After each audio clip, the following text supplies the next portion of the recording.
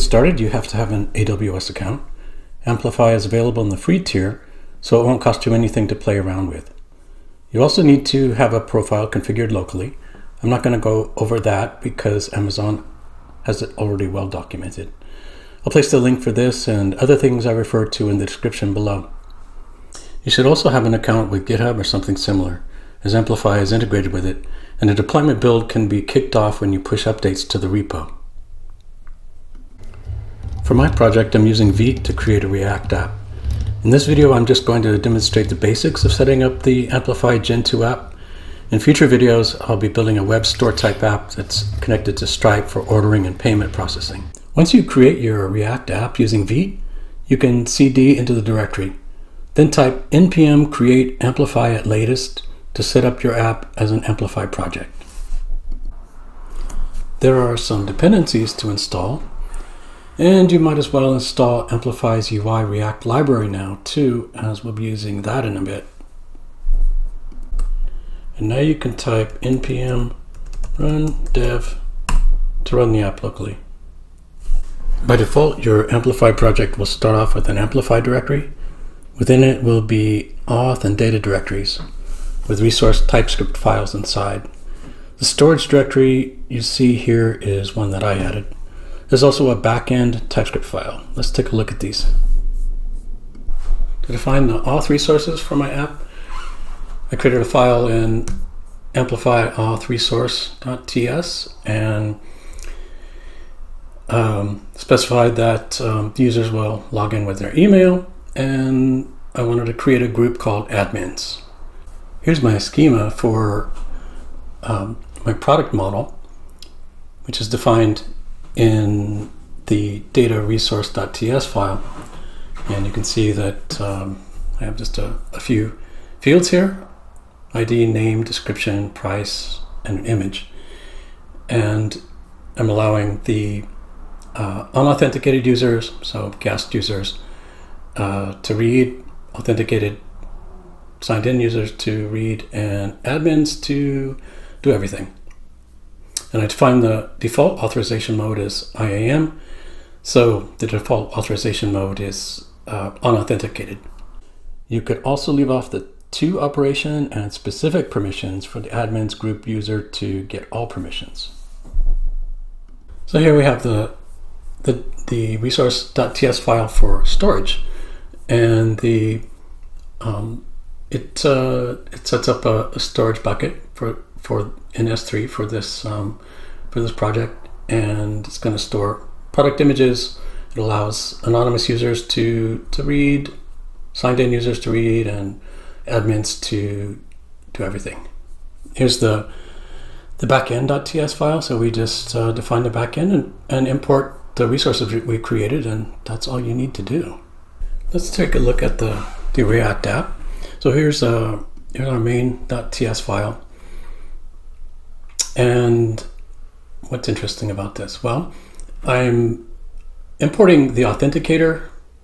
I'm importing the theme provider, but not yet leveraging it yet. Not really taking advantage of any of its features. But um, so we import the authenticator and I'm wrapping the app in an authenticator provider.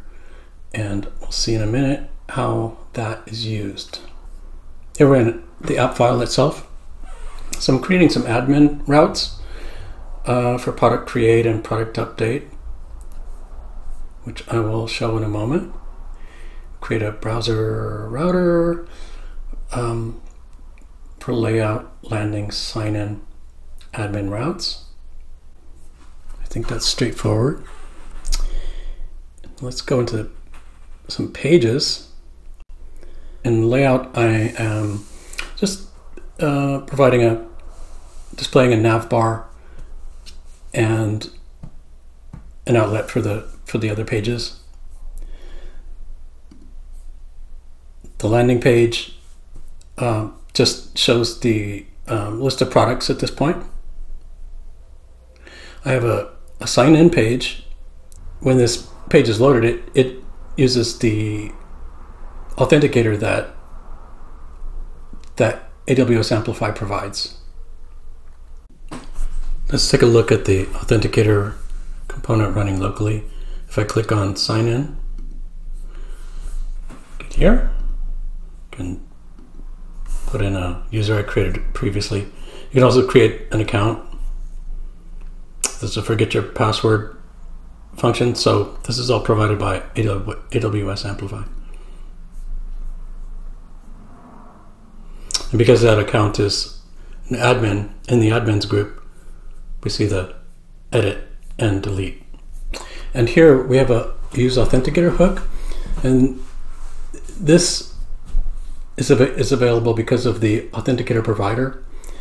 And we get our auth status, which can have a value of authenticated, unauthenticated, or configuring. So once we authenticate, we navigate back to the home page here. So here's the nav bar.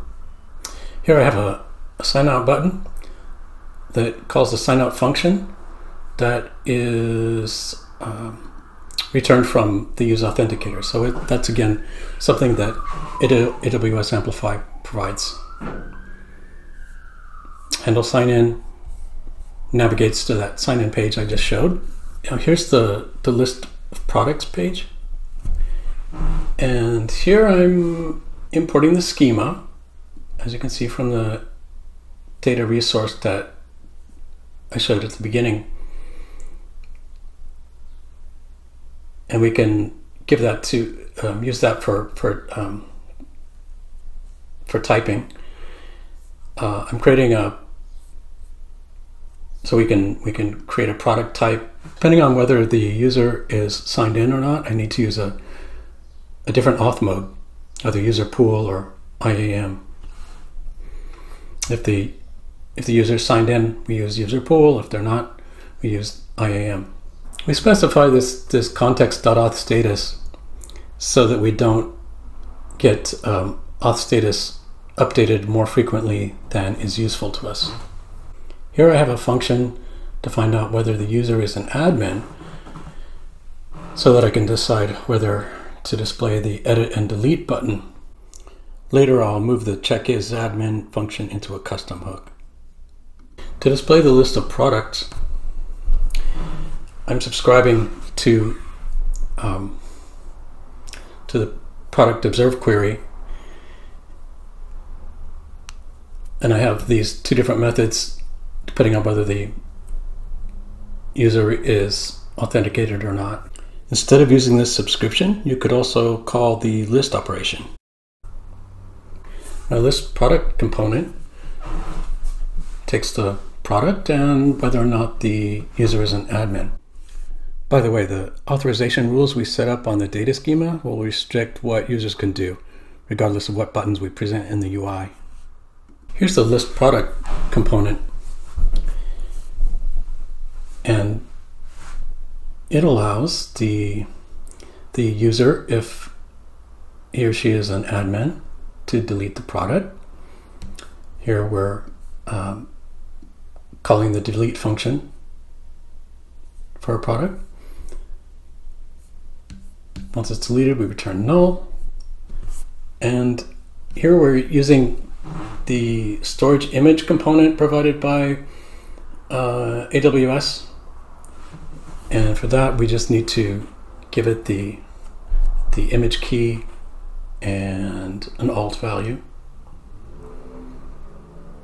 To, to update, we navigate to the update page. To delete, we just call the delete function. In actual production, you'd probably want to soft delete instead of hard delete this way. So here's the product create page. Note that we're taking the product create form, um, which was generated auto automatically by Amplify, but I've customized it in a couple of ways that I'll show in a second. I don't really need to supply a an a handle submit function. I'm just doing it to take a look at the values and play around. The on success I, I used to to take away the form and um, show that product was created successfully. Let's take a look at the product update as well. It's the same, except that we get an ID from the from the path, uh, from the params, and pass that um, down to this product update form. And again, this is generated from by um, Amplify, except that I've customized it a little bit.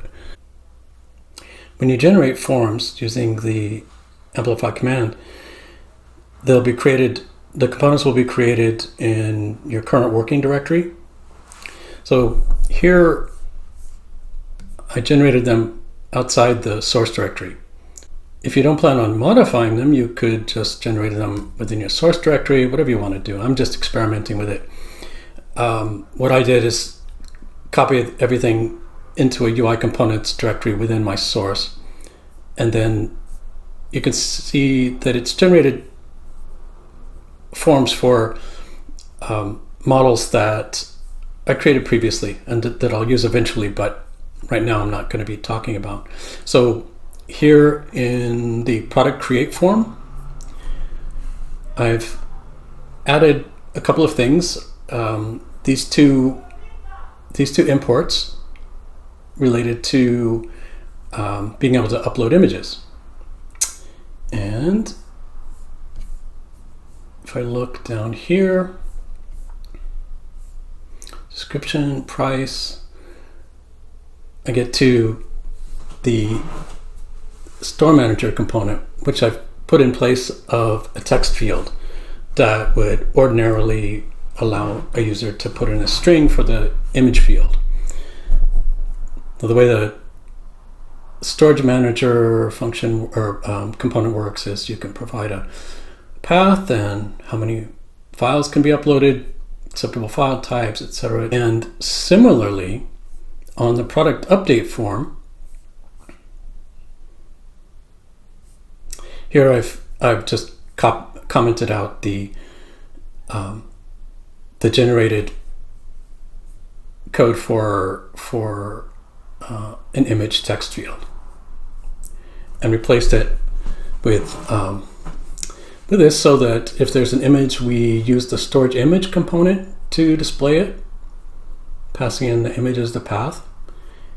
Uh, I've added a, a button to get rid of the image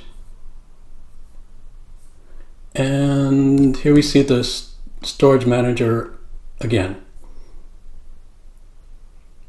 just like it is in the create product form.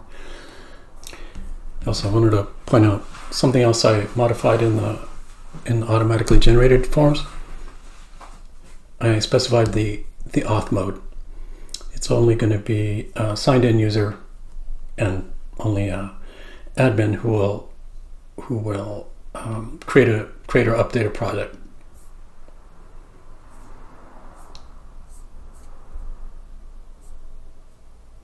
Yeah, so there we go. So here we have the, the create product form. Put in a product name.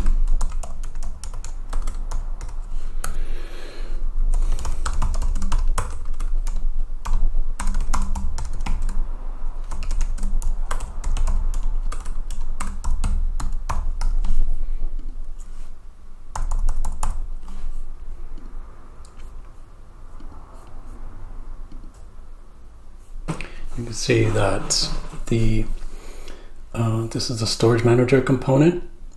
Provides a little thumbnail there. We can submit it. And we should see the um, product we created right here. If we click on edit see the storage image component has loaded our image. We can remove the image Save it. No, frog warmer doesn't have an image. We can delete the component or delete the product and it goes away. Amplify Gen 2 introduces a sandbox concept. This allows you to deploy the app with the backend resources independently of other developers on your team working on the same app and without affecting the production branch. Updates happen automatically when you push to the connected repo. We can see when we go into the AWS console for Amplify and go to our specific app, we can we can take a look at the resources that have been set up. We can get the settings, etc.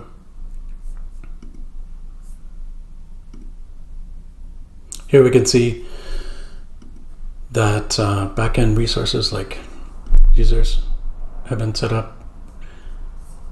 There's an admins group.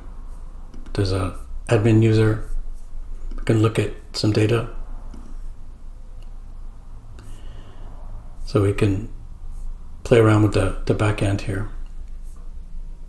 And here we can see the product image. This is my app deployed and hosted. You can see the URL there. And we're not signed in right now. If I click sign in and sign in as, uh, as the admin, this is my admin account. See, it's the same interface as the local sandbox can edit. Oh, but I didn't deploy. So, I mean, I haven't deployed the latest changes. So here's a, a opportunity for me to show you how, how we do that. As you can see, some of the changes that I need to update include the storage manager and storage image component being added to the um, product update form. So just adding those things. So let's commit this change to product update form.